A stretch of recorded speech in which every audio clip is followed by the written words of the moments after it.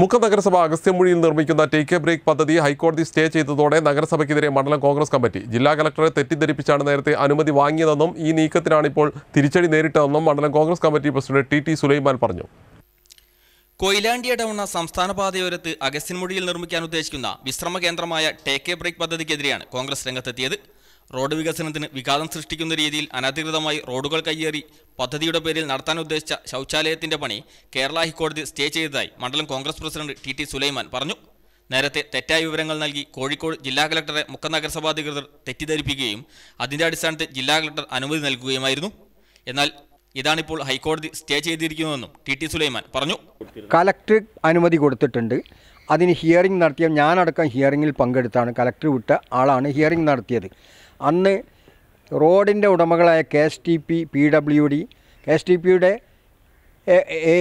Engineer പറഞ്ഞ ഒരു വാക്ക് പോലും അതിൽ ചേർത്താതെ ബന്ധപ്പെട്ട മുനിസിപ്പൽ സെക്രട്ടറി പറഞ്ഞത് അതൊക്കെ ഓക്കെ ആണെന്നാണ് എന്നാൽ K S T P P W D ഇന്നേ വരെ അതിന് അനുമതി കൊടുത്തിട്ടില്ല.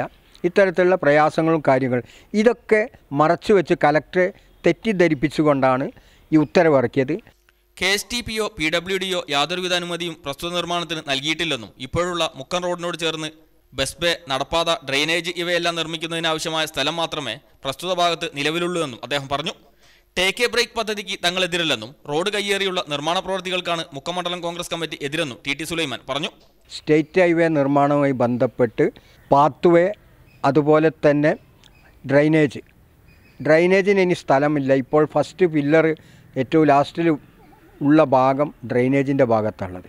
അപ്പോൾ ഇത്തരം ഒരു പരിപാടി അവിടെ ഉണ്ടാക്കുക എന്ന് പറഞ്ഞാൽ വലിയ പ്രയാസം എല്ലാ രീതിയിലും വികസനത്തിന് തടസ്സമായിട്ട് വരും. ഇപ്പോൾ നിർമ്മിക്കാൻ ഉദ്ദേശിക്കുന്നതിന് തൊട്ടടുത്ത് തന്നെ ഇത്തരം നിർമ്മിതിക്ക് ആവശ്യമായ സൗകര്യപ്രദമായ സ്ഥലം ഉണ്ടായിരിക്കെ. വാശിയോടെ നിർമ്മാണം നടത്താൻ ഉദ്ദേശിക്കുന്നതിന് പിന്നിൽ മറ്റു ചില താല്പര്യങ്ങളുണ്ടെന്നും ടി ടി സുലൈമാൻ പറഞ്ഞു.